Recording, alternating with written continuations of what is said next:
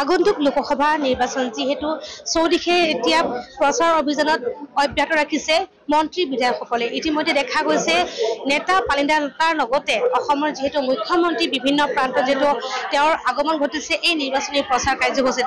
বৰ্তমানে দেখা গৈছে যে ডিগবৈ বিজেপি যিহেতু যোগদানৰ ঢৌ উঠিছে আজি দেখা গৈছে ডিগবৈৰ যিটো সাংসদৰ কাৰ্যালয়ত ডিগবৈ বিধায়ক সুৰেণ ফুকনৰ উপস্থিতিত কংগ্ৰেছৰ যিজন বলিষ্ঠ এজন নেতা তেওঁৰ নেতৃত্বত প্ৰায় দুই শতাধিক লোকে যিহেতু বিজেপিত আজি আনুষ্ঠানিকভাৱে যোগদান কৰে আৰু এনেদৰে এই যোগদান কাৰ্যসূচী অব্যাহত ৰাখিছে।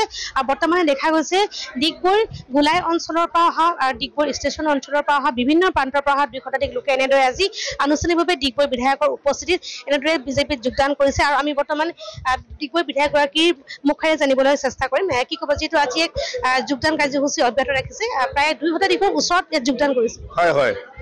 আৰু ইতিমধ্যে ডিগবৈ সমষ্টিটোৰ চুকে কোণে আমাৰ নিৰ্বাচনী প্ৰচাৰ তুংগত উঠিছে। আৰু যিখিনি মুষ্টিমেয় ক'ৰবাত আপ আছিলে ক'ৰবাত জাতীয়তাবাদী শিবিৰৰ কিছু লোক আছিলে বা কংগ্ৰেছৰ কিছু ৰৈ গৈছিলে তেখেতসকলে আজি সম্পূৰ্ণভাৱে ডিগবৈ মিউনিচিপালিটি এলেকাত সকলোৱে ভাৰতীয় জনতা পাৰ্টীৰ প্ৰতি আস্থা বিশ্বাস ৰাখি তেখেতসকলে জইন কৰিছে। হে আজি দুই শতাধিককৈ অধিক লোক জইন কৰিছে আৰু আমি তেখেতক আদৰণি জনাইছোঁ। আৰু এইবাৰ মোদীজীৰ ঢৌৱে সকলোকে উটুৱাই নিব। ডক্টৰ হিমন্ত বিশ্ব শৰ্মা ডাঙৰীয়াৰ কৰ্মৰ দ্বাৰা ইতিমধ্যে এশ ছাব্বিছটা সমষ্টিত সমগুৰুত্ব সমন্বয়ন হৈছে। আৰু আটাইতকৈ ডাঙৰ কথা কি ইয়াত আজি দুই শতাধিকৰ ভিতৰত প্ৰায় আশীগৰাকী মহিলা আৰু পুৰুষেই হ'ল মাইনৰিটি সংখ্যালঘু প্ৰধান এলেকাৰ পৰা অহা। যি নেকি যোৱা সময়ছোৱাত কংগ্ৰেছৰ হকে তেওঁলোকে প্ৰচাৰ কৰিছিলে কংগ্ৰেছৰ বিষয়ভাৱে আছিলে। কিন্তু আজি ভাৰতীয় জনতা পাৰ্টীৰ প্ৰতি আস্থা বিশ্বাস ৰাখি তেওঁলোকে আন্তৰিকতাই আজি যোগদান কৰিছে। মই তেখেতক আদৰণি জনাইছোঁ। আৰু এইবাৰ যি লোকসভা নিৰ্বাচন আছে ডিব্ৰুগড় লোকসভা সমষ্টিৰ আমাৰ প্ৰাৰ্থী ভাৰতীয় জনতা পাৰ্টীৰ মিত্ৰ দলৰ প্ৰাৰ্থী সৰ্বানন্দ সোণোৱালৰ প্ৰতি আস্থাৰ বিশ্বাস ৰাখিছে আৰু তেখেতে বৃহৎ ভোটৰ ব্যৱধানত ডিগবৈ সমষ্টিৰ পৰা অতি কমি পঞ্চাছ হাজাৰ ভোটৰ ব্যৱধানত তেখেতে জয়ী হ'ব। তাৰ কাৰণে আমি আগতীয়াকৈ ৰাইজক শুভেচ্ছা জনাইছোঁ মুখ্যমন্ত্ৰী ডাঙৰীয়াক শুভেচ্ছা জনাইছোঁ আমাৰ প্ৰধানমন্ত্ৰী ডাঙৰীয়াক আগতীয়াকৈ শুভেচ্ছা জনাইছোঁ আৰু সৰ্বানন্দ সোণোৱাল ডাঙৰীয়াকো আমি এ, ওলগ জনাইছোঁ আগতীয়াকৈ শুভেচ্ছা জনাইছোঁ।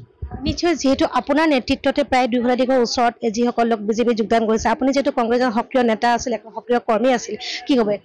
এক অনুপ্ৰাণিত হৈ ৰাইজৰ সমস্যা সমাধান কৰাৰ ক্ষেত্ৰত যিটো দলে মোক সহায় সহযোগিতা আগবঢ়াব, সেই দলৰ অনুপ্ৰাণিত হৈ আজি মই বিজেপি দলত যোগদান কৰিছোঁ আৰু সুৰেণ ফুকন ডাঙৰীয়াৰ অনুগত্যতা স্বীকাৰ কৰি মই মই বিজেপি দলত যোগদান কৰিছোঁ।